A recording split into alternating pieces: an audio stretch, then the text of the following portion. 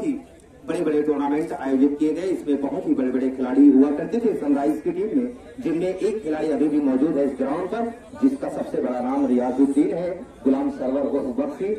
मैं इन खिलाड़ियों का, इन एक की एक याद ताज़ा हो जाती है इस टूर्नामेंट के। लेकिन वो टूर्नामेंट में संयोजक के रूप में बने हुए हैं। हम धन्यवाद करते हैं। इस बीच मैं विधायक विधायक आप समाजवादी पार्टी लालगंज, हमारे पूर्व विधायक है। मैं उनको आवाज़ देना चाहूँगा कि इन खेलों के ऊपर इन ग्राउंड के ऊपर इन मुस्तकबिल के ऊपर, भविष्य के ऊपर, अपनी योजना को, कुछ जो आपसे हो सकता है, वो अपने विचार को रखें, हम उनको आमंत्रित पूरे यहाँ के जितने हमारे सभी सम्मानित बुज़ुर्ग पिता कुल नौजवान साथी इस मैदान में आए हैं। मैं पहली बार तो मैं रियाजू भाई को इतना धन्यवाद दूँ कि यह मैच यहाँ से हम लोग हीरा की टीम यहाँ से हम लोग दो बार मैच जीत के गए थे। और मैं रियाजू भाई, वही मैच खेले और फिर चले गए थे बाहर सऊदी। बस सऊदी से आए तो मेरी इनकी मुलाकात राजनीति के तौर पे हुई।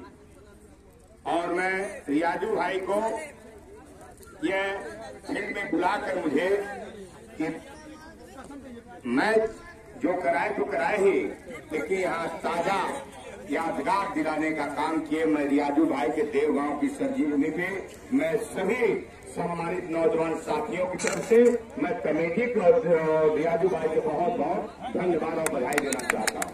और हमारे अनिश भाई प्रधान जी हैं, काजू भाई हैं, और हमारे वीडियो बना रहे पत्रकार भाई ये भी प्रधान जी हैं, विद्युत भाई भी हैं, और समाज सेवक सभी टीमों को मैं बधाई देना चाहता हूँ और सम्मानित हमारे यहाँ तीन तीन प्रधान जी लोग हैं। मैं उनको भी और मैं एक पवन टेकर भाई को भी और हमारे बीच में एक बहुत हम लोग के साथ कबड्डी खेलते थे।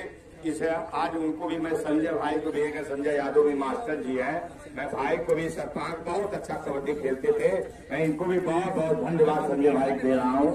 और मैं यहाँ जब एस साहब आए थे और मैं भट्टा मालिक महेंद्र यादव भाई भी आए हैं। और इस नौजवान साथी को मैं जब से देख रहा हूँ मैं जब घर आता हूँ इन लोगों के पास तब तो मैं जान नहीं रहा हूँ बाबू को लेकिन मैं बाबू आपको बहुत बहुत इस कमेटी को धन्यवाद देना चाहता हूँ। भाई आपको धन्यवाद देना आपका मैच क्या है आपकी टीम आपकी टीम जीती हुई है। तो आपका क्या आपका क्या विचार है इस टीम पे? टीम बढ़िया खेली जीती और क्या विचार बेमानी बेमानी हुआ क्या यहाँ पे? नहीं नहीं सही सही भाइयों का नाम रोशन करने का काम किया। और मैं आपसे बता दे रहा हूँ कल आप मैं गया था शेखपुर कोटी समापन था शेखपुर कोटी